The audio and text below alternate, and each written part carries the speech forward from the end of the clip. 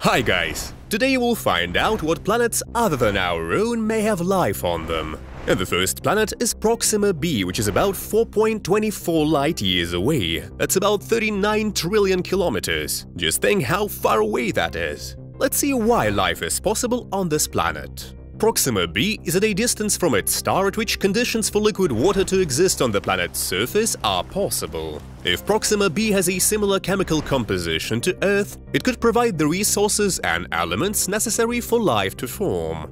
But there's also a reason why life on this planet could be difficult due to the fact that the planet is around a red dwarf, which is low emitting and could create an unfavorable environment for life due to intense radiation and strong solar flares. Because the star is low emitting, it's quite cold on the planet, and also Proxima b has high gravity, which people should also take into account. Overall, there is a 40% chance of life on this planet. So let's introduce a flag for Proxima b. First of all, the flag will have a blue background, symbolizing water. In the center will be a silver circle, symbolizing the planet itself. And the unusual yellow figure around the circle will symbolize the star that's around the planet. The stars around the emblem speak of the planet's connection to the stars. The flag is wonderful. By the way, what will the inhabitants of this planet look like? The average height of a person would be about the same as on Earth. People would be well-proportioned, with well-developed musculature and a physique suitable for adapting to the physical conditions of the planet. Skin would be more pigmented to protect against potentially more intense radiation. Eyes would have more developed twilight vision because of the dim light on the planet. Human hair, because of the cold climate on the planet, would be similar to wool. Arms and legs may be more adapted for movement due to painful gravity.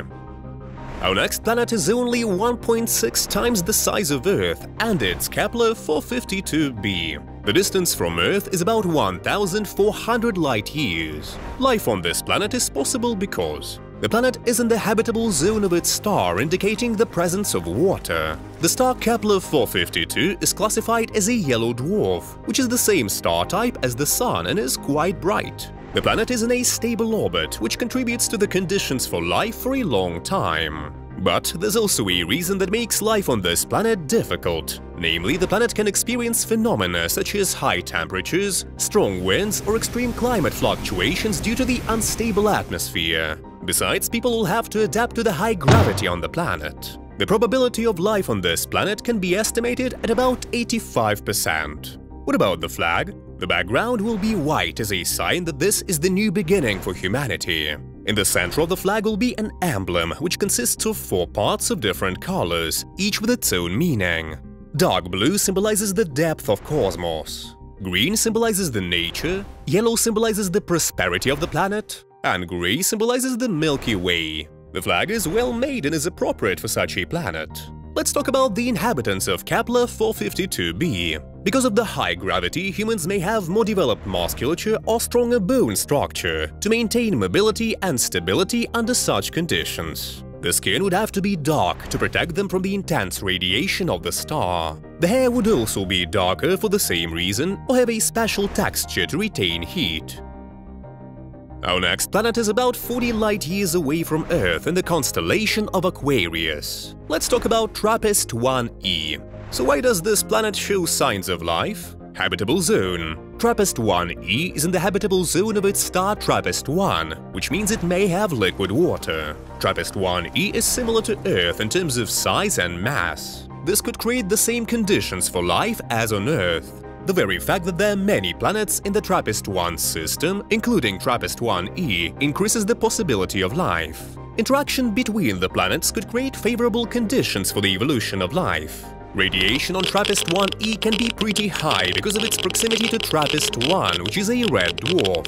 Red dwarfs emit intense ionizing radiation, which can be dangerous.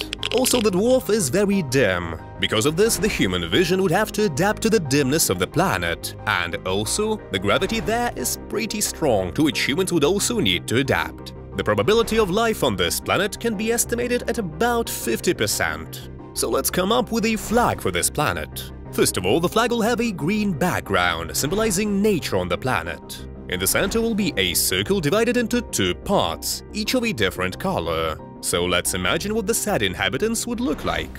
Because of the higher gravity, people on TRAPPIST-1e would have a more compact body with short limbs to reduce the load on the skeletal system. Their skin would have dark pigmentation to protect them from the ultraviolet radiation. They would also have more advanced night vision to adapt to the light on the planet.